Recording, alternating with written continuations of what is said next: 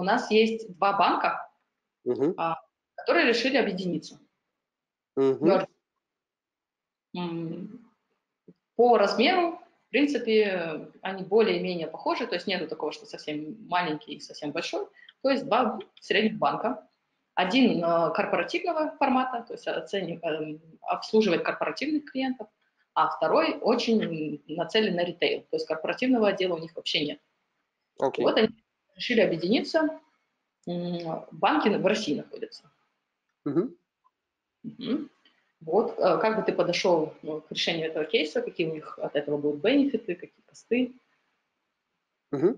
Э, Спасибо большое за кейс. А, В общем, я правильно понимаю, что наши клиенты – это два банка, которые решили объединиться по размеру? Ой, это два банка, которые решили объединиться, а по размеру они примерно одинаковые, и один а, он очень силен в корпоративном секторе, а другой в ритейле. В ритейле. Да.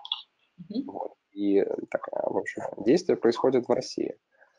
А я бы хотел уточнить, а мы понимаем, чего конкретно хотят банки от нас узнать? То есть У них есть какой-то, какая-то цель, может быть, которую мы хотим помочь им достичь? Хотят э, точно представлять хотя бы, какие у них э, будут затраты или какие потенциальные там, плюсы. То есть не в э, цифрах, то есть мы опустим цифры на этом этапе, а по каким форматам им можно достигнуть синергии различных.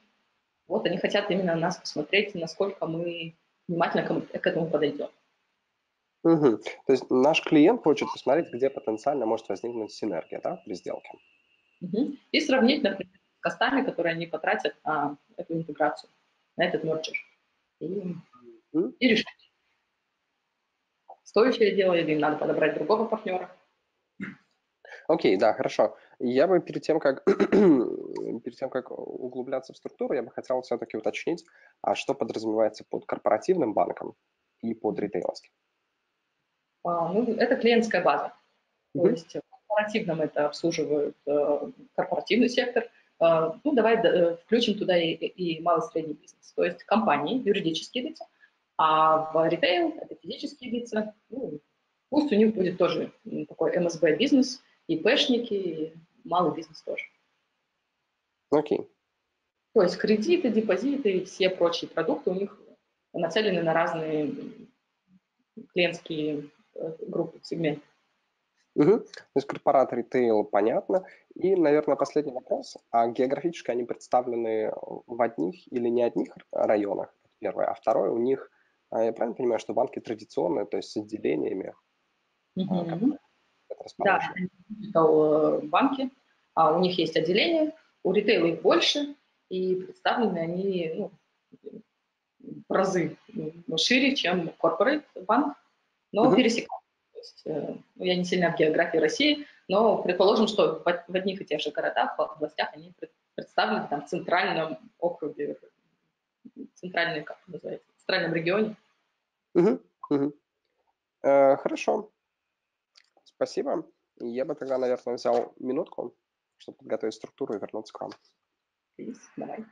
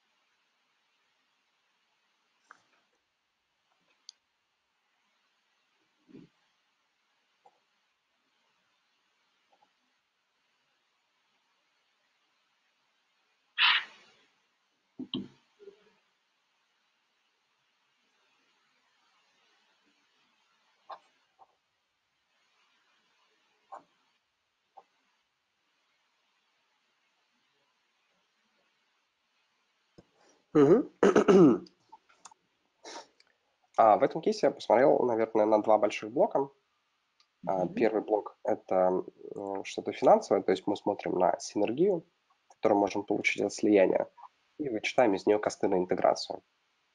Mm-hmm. Вот. А, там, в нашем понимании это будет э, тот чистый выигрыш, который могут получить два банка. Mm-hmm. И, и второй блок, на который я посмотрел, это риски. Ну, они могут быть связаны как э, с синергией, так и с издержками на интеграцию. Сейчас включу. Там. Так, э, теперь смотрим. Э, что мы... Ты видишь, да, мой экран? Да, да, да, вижу. А теперь э, давайте начнем с синергии. Я бы ее разбил на синергию выручки и издержек. То есть мы вот как, если два банка сливаются, получать или больше выручки, или меньше тратить. Ну, или и то, и то. Вот. А с точки зрения выручки, а, я выделяю а, один канал. Это, возможно, мы станем а, кросс-селить различные услуги и, используя там одни и те же базы клиентов, продавать им больше услуг. А можно поточнее, как ты видишь, вот уже применяя свое представление о продуктах этих банков, на каких моментах они могут кросс-селить? То есть пример дай. Угу. Ну, скажем, Сейчас, минуточку. Скажем, корпоративный блок, у которого есть кредиты корпоратам, а, там мое предположение, что если банк не специализировался на ритейле, то вот по уровню обслуживания он, скажем, хуже банка, который только на ритейле специализируется. И поэтому mm-hmm. первый шаг я посмотрел, а можем ли мы продавать корпоратам сейчас а, более, скажем, более качественный сервис для их, их клиентов. Угу. Точнее, для, для их сотрудников. Вот.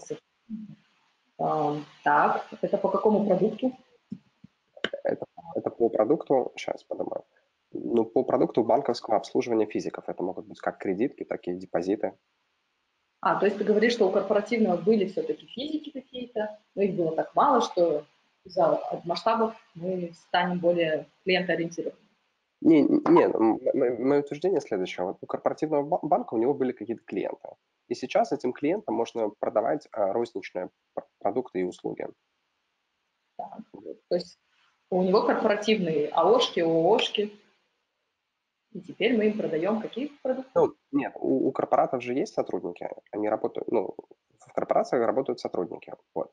И если раньше они, возможно, не обслуживались у нас, потому что я, я делаю предпосылку, что раз мы корпоративный банк, то мы не делаем а, как бы упор на розничное обслуживание физиков. Да. А сейчас у нас будет банк-партнер, который а, хорошо это делает, и mm-hmm. поэтому сотрудники а, вот этих компаний, которые раньше обслуживались в корпоративном банке, они mm-hmm. могут перейти в наш розничный банк, потому что обслуживание будет лучше. Вот. И это я называю кросс-селлингом. Хорошо.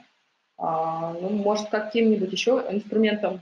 Вот, например, кто знает а, вот, в компании, вот сотрудники этой э, корпоративной компании, что mm-hmm. финансовый отдел берет кредит в банке ООО таком. То есть э, велика ли вероятность, что они сами придут? Mm.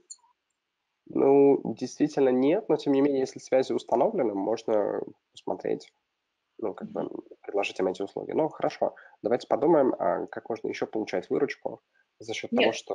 правильный, просто я тебя пытаюсь направить. Mm. Вопрос, как делать кросс-селл? Да, через какой продукт?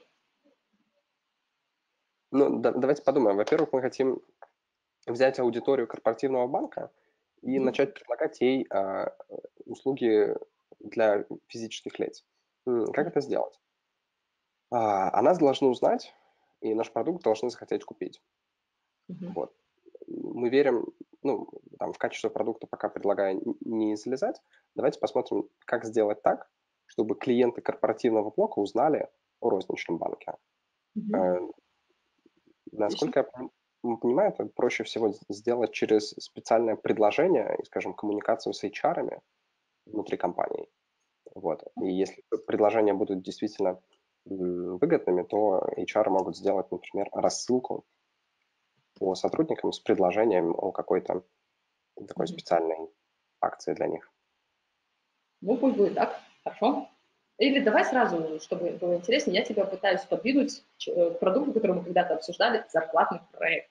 Это то, что в принципе, банки находят себе клиентов, что они предлагают префери... ну, преференции своим корпоративным на выдачу зарплат всем сотрудникам, и они автоматом обязаны стать клиентами. Окей. Okay. Потому что вот across HR, сколько я работала, не только в консалтинге, будет очень странно, если HR будет рассылать какие-то материалы. Компании на это, скорее всего, не пойдут. Угу, угу. Хорошо. Ну, то есть кросс-селлинг, когда, наверное, будет это именно зарплатные проекты. Угу. А сейчас будет вести розничный банк. Угу. Окей. С точки зрения выручки, на самом деле, а, больше я синергии пока что не вижу. А, можно сейчас или вместе подумать над ними, или перейти больше к синергиям по издержкам. У меня вопрос к тебе. Когда мы говорим о revenue, да, о, вы, о синергиях в выручке, ты видишь это, как у тебя структура а, ну, такая лучшая в голове работает? То есть это один кросс-селл или мы должны как-то это разделять? Mm, ты имеешь в виду, из чего состоит синергия? Такая а, фишка, как эти revenues лучше еще раскидать, чтобы, ну, чтобы это получилось миссией. Мы mm-hmm. решили, корпоративный банк выиграет от того, что у него будет лучший сервис, и придут э, новые как так вот. Э, корпоративный выиграет от того, что лучший сервис будет, да. а вот эти, а ритейл выиграет от того, что payroll будет. А, что э, можно увеличить свою ритейловую базу, из-за того, что у нас корпоративные клиенты. Угу. Угу. Так, вот. а... Я тебя подвожу таким тоже концептуальным бакетом, который, надеюсь, всем будет полезно, что прежде чем вот делить, э, ну, revenue, назвать cross-sell и давать идеи, будет классно по, э, ну, по логике расписать cross-sell, retail, ну, я, сори, по-английски использую, чтобы в иностранном банке работал, а, розница, э, какие принесет э, корпоративному, то есть синергии в ритейловом банке и синергии в корпоративном. Ну да, то, то есть ты имеешь в виду, как э, розничный банк поможет увеличить выручку корпоративному и наоборот? Да, потому что зачастую, ну сразу как э, тоже совет, если там еще есть присутствуют цифры, и тебе надо это все просчитывать, поэтому тебе надо четко разделять вот этот кросс-селл как вы, выиграет корпоративный банк и как выиграет ритейл. Окей. Okay. Угу. Ну, да. ну, это хинт и миссии. У нас обучение, поэтому я тебе предлагаю четко про, э, проговорить. То есть revenue мы делим на кросс-селл, может даже не делить, слово кросс-селл тут не рисовать, сразу на корпоративный и как ритейл выиграет. Угу. Угу. Так, хорошо, поехали. Так, а сейчас мы э, смотрим, ну, то есть нужно, наверное, выделить, за счет чего а, будет создана синергия выручки. Пока кроме кросс-селла а, мне сложно сделать гипотезу о том, за счет чего может еще вырасти наша выручка. Ты хочешь, чтобы я с тобой побрейнстормила? Ну, давай. Ну, нет, нет, я думаю, стоит ли, стоит ли пока закрыть эту ветку и пойти в другие? Я думаю, можешь ну, взять сейчас время чуть подумать. Угу.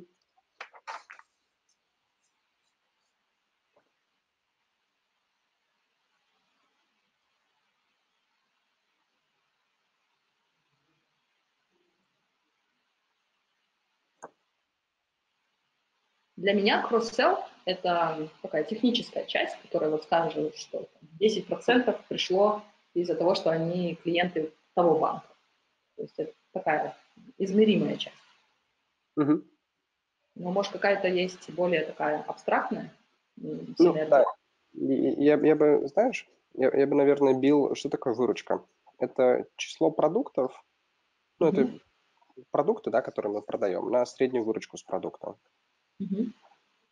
Вот. И, собственно, кросс-селл, он, наверное, повышает число продуктов, которые мы можем продать. А. Ну, число продуктов это что? Можно сказать, что это число людей и корпораций, которые mm-hmm. у нас есть, и там средний процент получается, людей и корпораций, которые приобретают тот или иной продукт. Угу. Вот. И, соответственно, за счет кросселла мы вот эту долю людей увеличим, которая покупает продукт. Угу. Но также можно смотреть на среднюю выручку с продукта и, возможно, что-то менять внутри продукта. Угу. Отлично. Так, и что мы по цене можем предложить? Да, что мы по цене? А, тут на самом деле нужно смотреть очень глубоко, а, во-первых, из чего сейчас наша выручка, точнее так, какие продукты сейчас формируют выручку, и смотреть, можем ли мы в этих продуктах что-то менять, чтобы они генерировали больше выручки. Вот. То есть, наверное, там, возвращаясь к нашей изначальной структуре, как понять, а, в общем, как розничный банк поможет корпоративному. Нужно посмотреть, какие есть продукты у корпоративного банка, посмотреть среднюю выручку с продукта и mm-hmm. подумать, можем ли мы или продукт как-то менять, чтобы среднюю выручку увеличить, или, mm-hmm. или увеличивать число продуктов. Mm-hmm. Вот я Хорошо. Mm-hmm.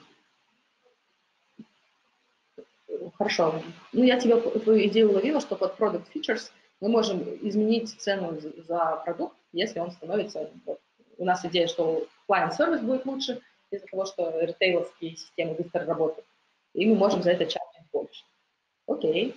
Ну, сразу из абстрактных, которые мне приходят, это market share, это бренд awareness, это из-за того, что, например, ритейл банк намного более активнее, ну, такой rule of thumb будет себя рекламировать, потому что он идет в то из-за бренд awareness, из-за вот этого вот именно маркетингового сопровождения корпоративному клиенту, если даже не кросс-селл, то новые клиенты тоже от этого придут, из того, что на слуху имя.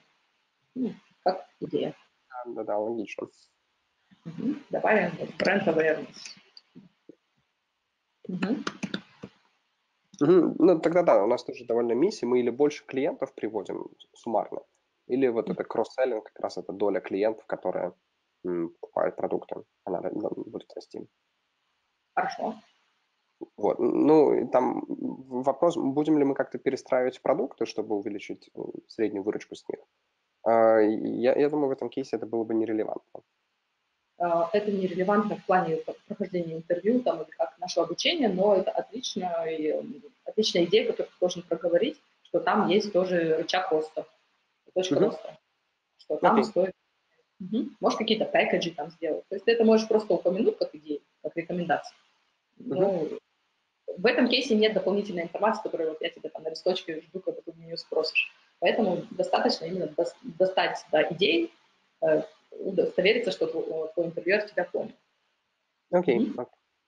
Так, Опять? а, тогда, наверное, переходим к синергии и издержек. Понятно. Угу. Тут я, я предлагаю действовать так. А, в первую очередь я выделю бакеты основные издержек, которые есть у банка, вот, а mm-hmm. потом подумаем, как, э, как каждый бакет можно сократить за счет того, что банки объединяются. Mm-hmm. Ну, издержки одного крупного банка будут меньше, чем раздельные издержки двух, которые у нас есть. Вот. А я выделил четыре основных блока издержек для банка. И они следующие. Это расходы на здания и офисы. Это расходы на персонал, это расходы на маркетинг и mm-hmm. это расходы на привлечение денежных средств. Ну, то есть издержки пассивов. Mm-hmm. Вот. И, соответственно, а, каждый этот блок а, я вижу в нем простор для синергии. Mm-hmm. Вот. А давайте начнем со зданий. А, если, то есть здания какие бывают? Бывают фронт, бывают бэк. То есть э, фронт это все, что для клиентов, Бэк mm-hmm. это там, где сидит наш персонал. Вот. А, можно как-то соединять фронт а, здания. Скажем, если у нас есть какие-нибудь отделения в одних городах, и, возможно, они даже где-то рядом находятся, то имеет смысл их соединить. Или, например, просто закрыть часть а, корпоративных отделений и перевести вот эти функции в розничное отделение. А по каким бы метрикам ты решал?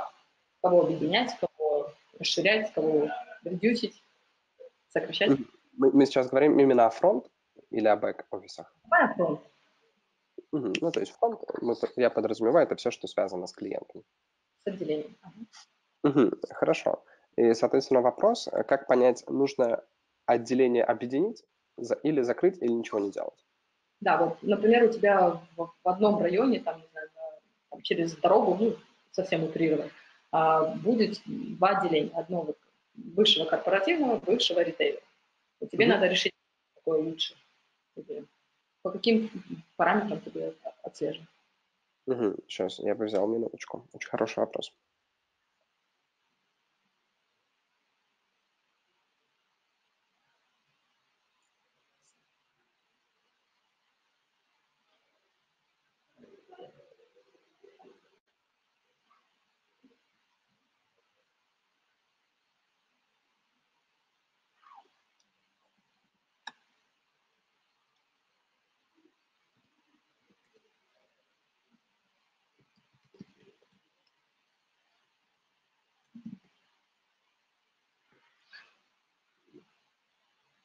Ну, и я бы, наверное, смотрел на один главный показатель, это то, как сейчас загружен офис.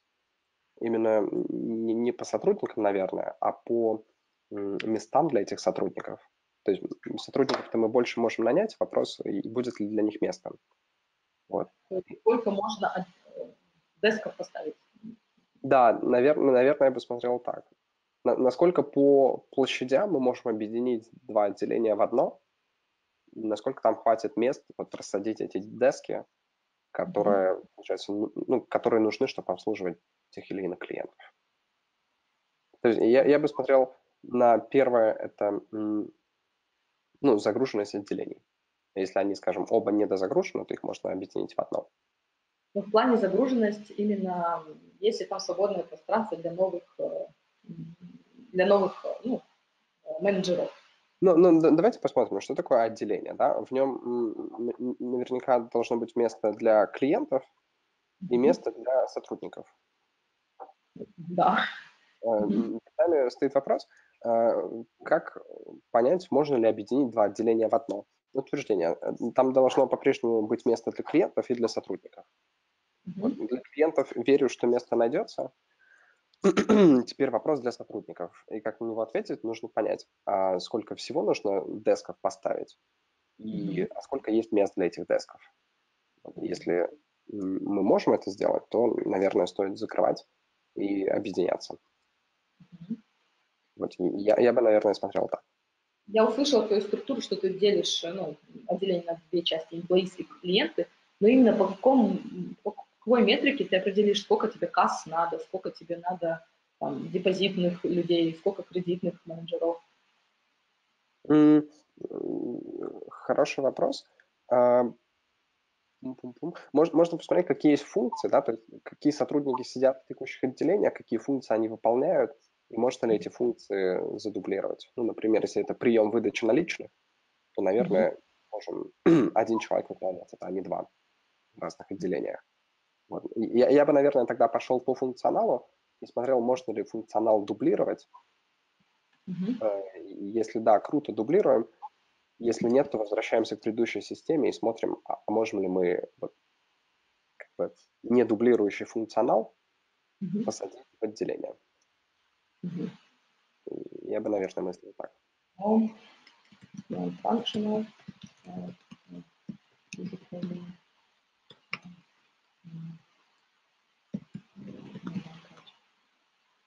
Угу. Окей. Ну, сразу э, обговорю, что, в принципе, тут бы было хороший анализ сделать э, ну, такой матричный, многосторонний, э, 3D-шный. Э, количество клиентов от э, количества метров квадратных этот бранч сколько занимает и как загружены employees. То есть, по-хорошему, это то, что консультанты и делают, они рассматривают обороты клиентов на одного человека, то есть на одного кредитного менеджера, и ты сравниваешь, например, вот у тебя этот functional overlap есть, там тут кассир и там кассир. И если ты э, понимаешь, что они функционально да, ну, совпадают, и типа нам только один нужен, но клиентов у тебя сейчас будет в два раза больше, то есть ты их не можешь э, быстро обслужить, они там накапливаются и так далее. То есть mm-hmm. метрика тут, вот это функционально, не функционально, конечно, имеет место, но решающий фактор – это именно количество а, э, выполненных функций, количество продуктов, которые они исполняют а, на человека. То есть кассир сколько на него приходится там обменных валют, приема коммунальных платежей, а, например, на кредитного менеджера, сколько он там кредитов выдает в месяц и так далее. И сравнивать именно вот efficiency этих двух банков, так ты можешь посмотреть сразу, а, ну, почему я говорю, это матричный подход, какие люди более эффективные, там, кого ну, в дальнейшем там оптимизировать, а кого оставлять. Uh-huh, uh-huh. Надо okay. на продуктивность, продуктивность. Да, то есть тут все идет от продуктивности сотрудников. Да, это хорошо, согласен. Ожидаемого количества клиентов. То есть если ты ожидаешь, что если ты их объединишь, что у тебя и людей-то будет ну, как минимум в два раза больше, а с твоими кросс-селлами а, и бренд awareness это их еще больше будет, чем просто сумма этих двух, то ну, надо ну, взять... Тогда, тебя... тогда ты такой, мы просто смотрим внутри оверлэпов, Э, функция, э, производительность каждого сотрудника и смотрим, а будет ли он покрывать, ну, получается, вот, э, предыдущий объем клиентов и потенциальный апсайд от него. Ну, давай, хорошо. В принципе, можно сюда. Хорошо. Окей. Так, это, был, это были здания. И как бы чего мы хотим достичь? Мы хотим достичь снижения площадей, на которые мы занимаем, за счет того, что мы будем о, плате, о платежах поделюсь инсайтом, ну, это реальная работа консультантов, они не только на человека а, делают эту метрику, этот бенчмарк, да, а сколько mm-hmm. а также еще на метр квадратный, сколько они денег либо зарабатывают, либо количество продуктов, которые они продают. Потому что, например, те, э, бывают э, ну, врачи, ну, они же явно нестандартные, разного, разной площади, и поэтому некоторые, например, малоэффективные врачи либо предлагают уменьшить либо там перенести, объединить и так далее по метрике, сколько денег они заработали на метр квадрат, сколько продуктов на метр квадрат. То есть не только по людям можно считать, а еще по, ну, по бранчу. Okay. Это тоже, который строят консультанты на своих этих гистограммах и так далее. Угу. Хорошо, то, то есть мы поняли, как бы на верхнем уровне, как, как смотреть, а можем ли мы снизить число площадей. Угу. С точки зрения объединения процессов. Ну и, соответственно, там, если считать количественно, нужно понять, вот от скольки площадей можем отказаться и сколько они в среднем нам стоят. Угу. Вот. А, хорошо. А, сейчас а, предлагаю пойти в людей. Угу. Угу. Опять же, а, мне кажется, этот анализ уже частично был сделан в, ну, вот, в предыдущей ветке. В людях я тоже хотел посмотреть на, есть ли какие-то дублирующие функции. Как, опять же, можно смотреть это с точки зрения фронт, вот то, что с клиентами, это с, с точки зрения бэк. Бухгалтерия, финансы, какие-то IT-продукты.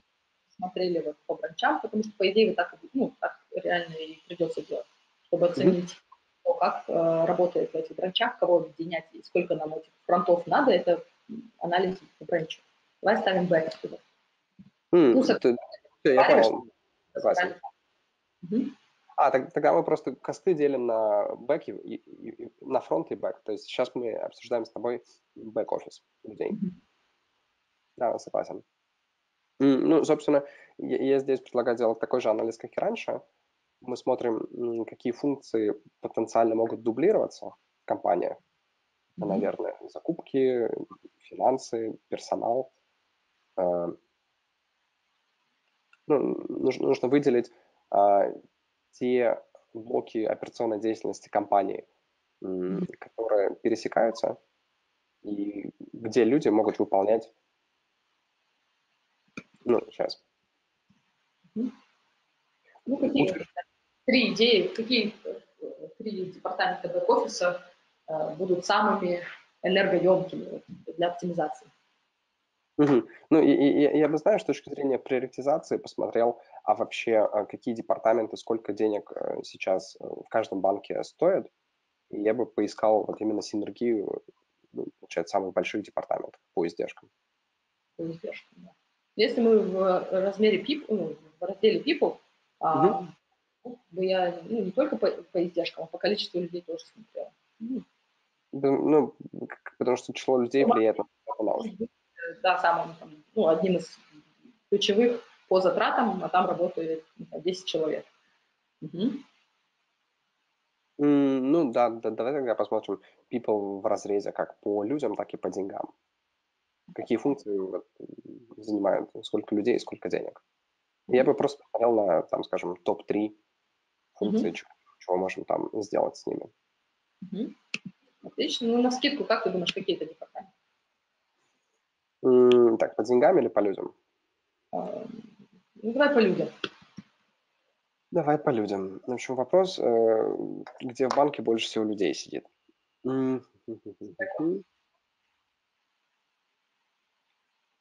Трудно знать, если ты в банке не работал. Ну, тут, тут зависит, наверное, от степени автоматизации. Что я в Тинькове стажировался, но я сомневаюсь, что он Хороший бенчмарк да, для этого. Да, хороший бенчмарк. А я, я бы сказал, люди, которые Смотри, риски вряд ли. В рисках много людей не сидит. А... И они очень специфичны для ритейла и для корпоратов. То есть там лучше их не объединять. Пиар тоже нет. Закупки нет. Там немного людей должно сидеть. Mm-hmm. А, возможно, взыскание задолженности и кредитные менеджеры. Я не уверен, что это бэк, это скорее фронт. Нет, ну они, конечно, не какой-то middle. Ну, да, я тебя понимаю, потому что они с должниками работают. Но обычно они тоже отдельные люди, потому что, ну, тоже немного расскажу, что в, если это корпоративные взыскатели, то они больше такие юридически направленные, там, по всем этим, как правильно писать эти заявления, там, записки там по залогу и так далее. То есть там больше юридические моменты. В то время по ритейлу это очень много именно коллекторов э, звонков в. То есть там специфика работы довольно разная. Ну и проблемы, которые в каждом направлении. То есть прям тоже объединить их вопросительно. Угу. Ну, если честно, с точки зрения бэк-процессов я не могу сейчас сказать, кто, кто... Возможно, бухгалтерия, но зависит от автоматизации. Если честно, я согласна про бухгалтерию, это был мой второй ответ. А первый – это явно операционка. Это все функции, которые Э, не автоматизированы, которые надо там, Почему это не автоматизировано? Потому что зачастую очень много разных IT-систем. То есть а, платежи делают там по одной мировой системе, там банк использует другую, там общую, и бухгалтерия третью. То есть это все ручками часто переделывается. Это, конечно, а вот банки это вообще главный таргет автоматизаторов. Э, ну, прям это зачастую большой. То есть операционка, я хочу сказать, это самый большой э, физический отдел в бэк-офисе, который занимается всеми операциями, всеми кредитами, э, ну, всеми продуктами. Uh-huh. То есть, вот, это один момент. А, Операционка и бухгалтерия. И бухгалтерия, на мой взгляд, тоже очень много, сколько я их вижу. То есть, в принципе, какие-то, конечно, функции будут останутся, что они должны контролировать там, и быть на пульсе там, с теми же рисковиками, чтобы там, по провизиям с ними а, менеджить, но какие-то там репортинг или налоги, они могут быть явно объединены. Угу. Окей, я это тебя не для того, чтобы мы дальше пошли по этим веткам, а ну. Понял, понял. Mm-hmm. То есть а, ключевая идея, можем ли мы сократить вот эти а, самые большие блоки, могут ли там быть какие-то пересечения, если да, то их нужно поискать mm-hmm. и собственно, сокращать людей за счет того, что они будут как бы более производительны. Да. Угу. Так, э, с точки зрения персонала, я думаю, все. Хорошо. Так, теперь маркетинг. Ну, тут, э, мне кажется, все просто. Нужно посмотреть на что, ну, какие каналы есть маркетинга. Я бы сказал, что там он есть точечный на совершение каких-то действий, а также вот маркетинг, который направлен на бренд awareness. Ну, соответственно, вот издержки на бренд awareness, они а могут... Имеешь в виду Ну, знаешь, какой-нибудь продукт мы продаем отдельный. То есть он... А, какой-то... Да, тут, тут как бы вопрос, стоит бить на это или нет, но с точки зрения маркетинга, ну mm-hmm. да, пока не бить. А, тогда просто утверждение, что достигнув такого же бренд awareness, мы сможем за чуть меньшие суммы. Угу. Окей. Ну, кстати, это два отделения, ну, зачастую отдельно. Да, да. Product based и brand awareness. Вот. А, так, и, наверное, с точки зрения фандинга, ну, можно посмотреть, у кого дешевле были пассивы, и просто пере, переключиться на вот этот источник пассивов. Угу. Под пассивами имеешь в виду? А, ну, это деньги, которые банк привлекает у юриков или физиков. Угу. А почему будет дешевле? Ну, например, если у корпоративного сектора было много компаний, которые, возможно, обслуживались в этом банке, как mm-hmm. правило, компаниям можно платить чуть-чуть меньше, mm-hmm. ну, наверное, по текущим счетам.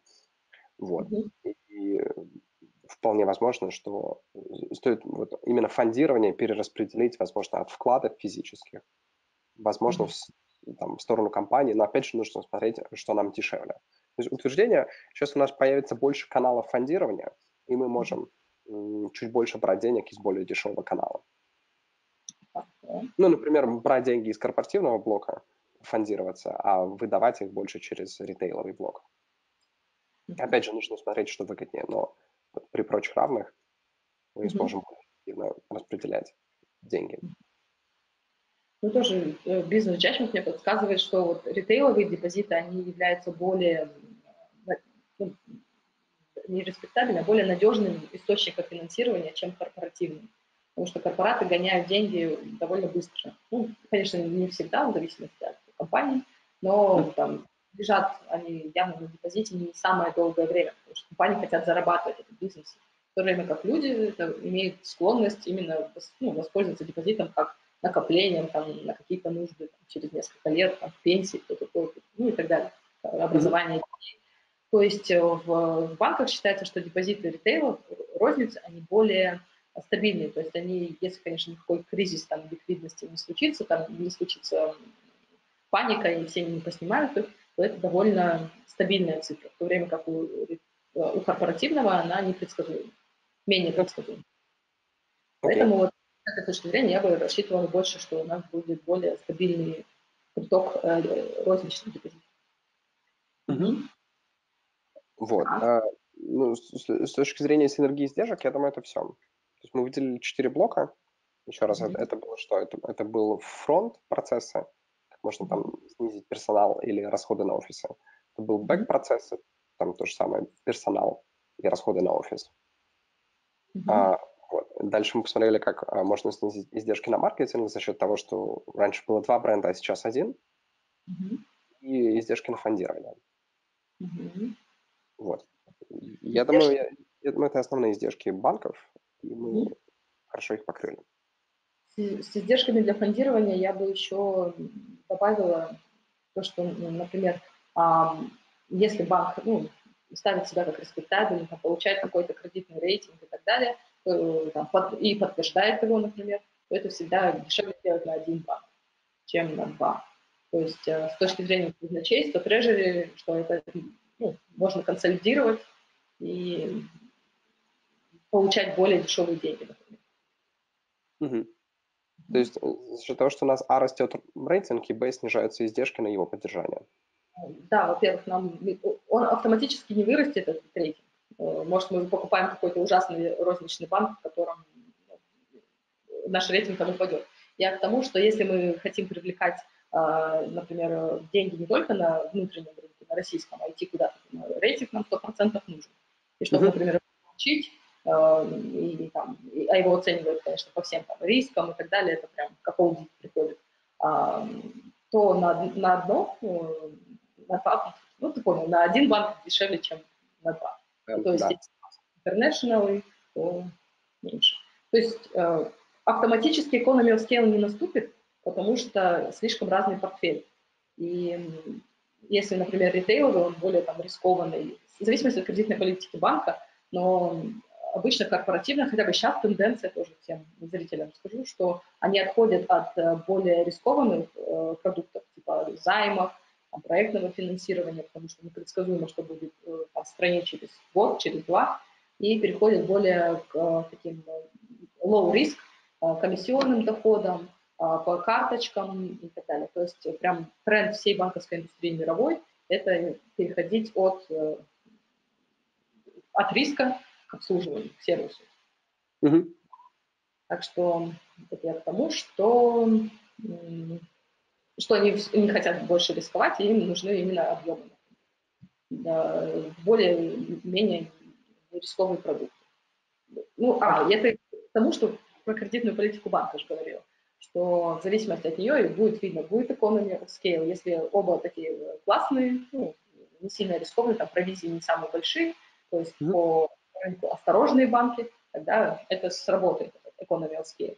Если э, разношерстные, тогда придется это сначала унифицировать, чтобы получить хороший рейтинг. Иначе шансы минимальны. Хорошо. Угу. Окей. Так. А теперь я бы посмотрел на блок издержки именно на интеграцию. Ага. Вот.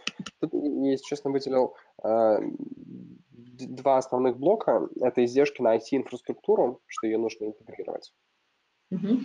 И издержки на то, чтобы интегрировать команду. С точки зрения команды, тут скорее больше на, на риски нужно смотреть. Но, скажем, издержки, они рождаются из того, что мы видим риски и пытаемся их предотвратить. Отлично. Угу. Я, я бы выделил два блока. Это инфраструктура и команда. Угу. Вот. А теперь, ну, собственно, я бы просто посмотрел по бенчмарку, а сколько обычно стоит а, интеграция двух, возможно, разных, возможно, одинаковых IT-инфраструктур и вообще, как, как это делать. Как это обычно делается. Сколько это занимает по времени и по деньгам. Хорошо. И точно так же с командой. А что, какие риски ты видишь по команде? Какие риски по команде? А, возможно, там есть различное как бы, а, построение команды, б, ее функционирование. И, соответственно... А, структурщик. Так, я сейчас просто какие типы рисков? Э, ты уже структуру Как это еще? Понятно. А, подожди, э, риск в команде? Ну, вот. риск, она не сможет... Еще раз скажи, пожалуйста. Вот ты говоришь, что это team, косты integration связаны с рисками. Да. И вот на эту тему раскрой, какие риски ты пытаешься предотвратить и как. Окей, okay. какие риски мы видим? Мы видим риск того, что команды могут не сработаться, и они будут или А, плохо функционировать, когда объединятся, или Б, там, возможно, хорошая команда просто уйдет. Mm-hmm. Потому что, ну, возможно, а, там будет разная корпоративная культура, им сложно будет ужиться. Возможно, там а, разные способы управления. И опять же, им сложно будет при, прижиться друг с другом. Соответственно, все наши издержки будут направлены на то, чтобы преодолеть эти барьеры. Mm-hmm. И... Тимбилдинг. Ну, да. Mm-hmm. В основном это тимбилдинг, возможно, какие-то бонусы людям, чтобы они не уходили возможно, нужно будет выравнивать зарплаты. Mm-hmm. Ну, вот. Mm-hmm. В общем, мы должны выстроить корпоративную культуру и, возможно, пересматривать зарплаты, возможно, какие-то бонусы, чтобы люди не уходили. Хорошо. Вот. Я бы еще, если у тебя других есть еще идеи по интеграции Смотри, по, по интеграции, э, если честно, нет, я выделил вот, только структуру и команду. Угу. Ну, тоже из э, опыта обязательно там будет PMO офис, ну, если это приличные компании. То есть тот, который, ну, скорее всего, у корпорат, ну, если они более-менее равноценны, а, все равно будет какой-то, ну, определять лидера, там, кто кого там, э, мерджер зачастую а, реже случается, чем acquisition, и поэтому acquisition все-таки будет тот, кто покупает этот таргет. Вот mm-hmm. он будет оценивать все эти риски, вести все эти процессы и так далее, и обычно туда позовут либо каких-то мега внутренних специалистов, а внутренних специалистов, ну, если это совсем крупный концерн. Но зачастую, если это иностранная компания, то э, приедет большой иностранный офис и будет работать года два там, или год над всем этим. А, либо э, эти консультантов просят помочь им с этим, с интеграцией и так далее. То есть вот это я бы поставила еще бакет. Что такое? А, Project Management Office. Потому что вот э, самая большая проблема в интеграции, это вот как ты говоришь, там, по тиму, по инфраструктуре. И если синергии – это дело будущего, то есть если они завтра не наступят, и ты будешь оперировать двумя бранчами, ничего страшного не произойдет, то вот эти вот риски integration cost, что у тебя две системы будут оперировать, ты назовешься одним банком и сделаешь платеж, а он не пройдет. Твои э, счета, которые были в том банке, не появятся здесь. То есть это самый mm-hmm. большой страшный сон этих э, интеграторов э, и вообще банковских объединений, Поэтому для них вот этот ПМО-офис это будет такая ну, основная, это как отдельный э, стадий консультанта. Только часто из-за того, что это очень длительный стадий, он может там, год, два идти, а, это, вот этот офис, он будет типа отдельным э, департаментом, отдельным управлением, который будет э, все эти, весь этот процесс интеграции менеджер.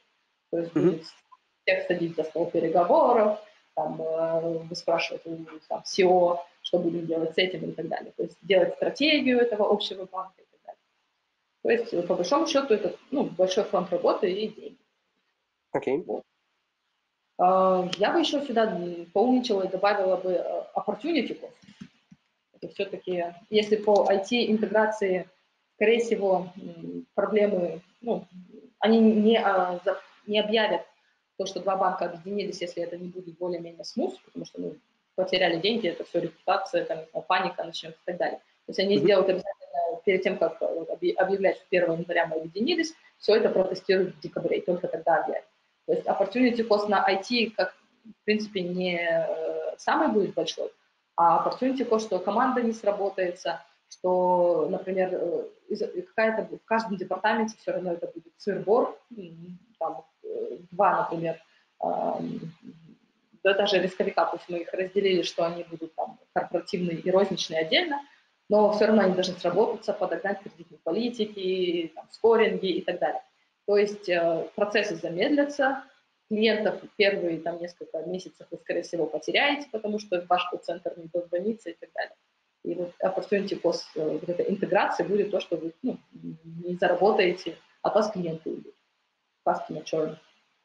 Вот. Я бы еще этот бакет посмотрела и сделала бы там какие-нибудь рекомендации, как это ну, можно остановить. Mm-hmm. Ну, давай космос назовем черный из-за того, что poor сервис станет, какие-то задержки и так далее.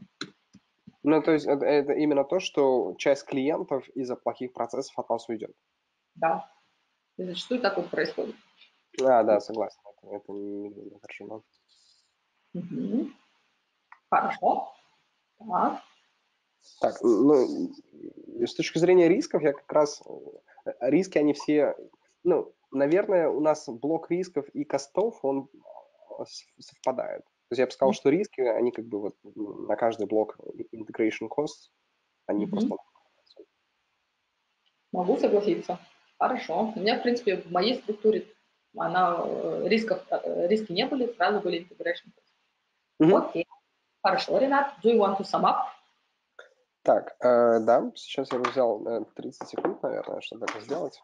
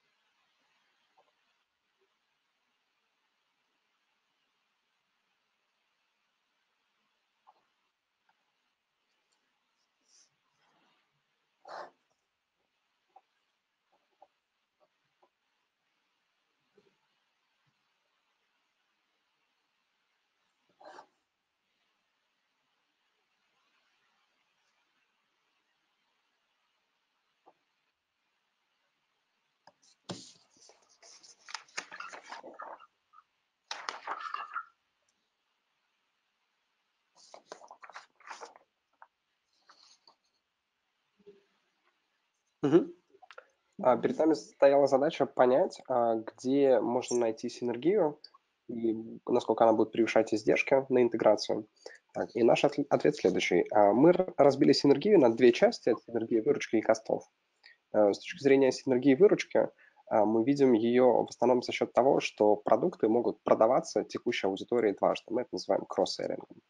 Вот. А с точки зрения издержек, мы видим основные издержки на персонал с точки зрения их уменьшения.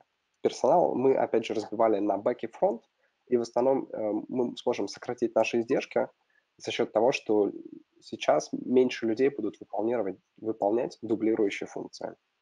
Вот. А также мы видим снижение издержек на маркетинг и на пассивы за счет того, что сейчас будет один единый бренд, и ему проще будет рекламировать себя, а также проще будет привлекать пассивы из различных источников. С точки зрения издержек на интеграцию, мы выделили а, два основных блока. Это издержки на интеграцию IT и персонала. Вот. Mm-hmm. Так как их нужно будет интегрировать, то этим, возможно, будут заниматься консультанты, которые а, и будут представлять основную нашу статью затрат. Вот. Ну и консультанты будут заниматься IT и персоналом. А также мы видим основную угрозу для нас в том, что в случае а, не плавной интеграции процессов а, часть клиентов могут перестать с нами сотрудничать, и это может вылиться в частичную потерю прибыли от интеграции. Вот. Я думаю, все. Ну и final recommendation, вопрос был сравнить synergy и integration costs. Как ты думаешь? Ну, понятно, без почему сложно сделать, но вот надо это все равно это и ну, хорошо, мы, мы как консультанты, мы верим э, в синергию за счет того, что банки э, специализировались на разных э, продуктовых линейках, и мы верим, что синергия от э, выручки, она перекроет э, издержки от слияния. Отлично. А я бы еще сказала, что синергия – это длительный процесс, в то время как integration costs – это one-off. То есть, а, если ну да. такие долговременные планы на быть банкирами, то переживем, называется, вот эти integration costs. Да, да, да, с точки зрения, же потом на нас не смотрели криво, почему прибыль падает. Угу. наверное, сказать. Хорошо. А, в принципе, э, структура хороша, Лена. Мне понравилось, что ты знаком с э, этой ну, структурой по revenue synergies, cost synergies, integration costs. Я ее хотела широкой аудитории тоже предложить, чтобы, ну, потому что иногда это на скидку, если вы не знаете об этом фреймворке, немножко сложно сделать. А по, так что ты меня этим порадовал. По идеям, в принципе, довольно ну, логично, структурно. Ну, свои комментарии к каждому бакету я тебе давала по ходу. Mm-hmm. Я бы сказала, ну тут, конечно, этот бизнес-джаджмент совсем наработать только если у тебя были проекты в банке, или ты более ну, представляешь, как это делается. То есть, в принципе, посыл ко всем это, если даже вы не имеете доступа там, поработать вот, там, во многих индустриях, ну, читать а, этот McKinsey Quarterly и так далее, чтобы понимать, какие там, направления, что там тренд, вот, например, то, что я тебе говорила. И вот хоть это и не profitability, да, кейс, что э, банки уходят в менее рискованные операции, payments, комиссионные доходы. То есть зная какие-то тренды по индустрии, а, даже если ты их э, напрямую не поставишь в структуру, это mm-hmm. добавит. Вот, так что, в принципе, я за то, чтобы вы знали ну, тренды, которые есть э, в индустрии, как к слову при предлагали. И еще один момент, э, больше как шутка. Я вот этому консультантам в принципе, если бы я принимала интервью, я была бы очень рада, если бы мне сказали, что мы консультантов позовем на ПМО офис, что, mm. ну, что у вас будет бизнес-товарищи. А, вот. Потому что, ну, не то, что зачастую, но существуют эти проекты, не скажу, что их прям много, но вот, которые консультанты придумали стратегию, посчитали синергии, и особо доверительные отношения, это когда их там приглашают там, провести пилот или провести эту интеграцию и так далее. И, кстати, зачастую, в, даже если это какой-то ну, короткий стадий, оценить синергии и там, посчитать их, а, тоже как next steps, а, ну, не в формате, конечно, решения этого кейса, предлагаются вот эти вот там, как PMO, PMO офис должен функционировать, из чего он должен состоять, там, а, что там должны быть там хеды э, департаментов одного банка, таких обязательно, и хеды какие комитеты там составить, как они часто встречаются. То есть, э, по-хорошему, на PMO офис еще как бы типа, а нужен next step анализа, что они будут делать. План на полгода. После вот, э, решили сегодня объединяться, а официальный запуск там, по юридически там, через 6 месяцев. То есть чтобы эти 6 месяцев, то есть должен быть план. А, план of integration, который должен разработать ну, новому офис. И обычно консультанты, когда делают этот вот похожий кейс про синергии, они расписывают примерно, ну, советуют э, клиенту, как это сделать. Вот. Ну, в принципе, решил ты его хорошо, как бы по баке там все нормально. А, на бизнес-аналитика должны взять. Хорошо.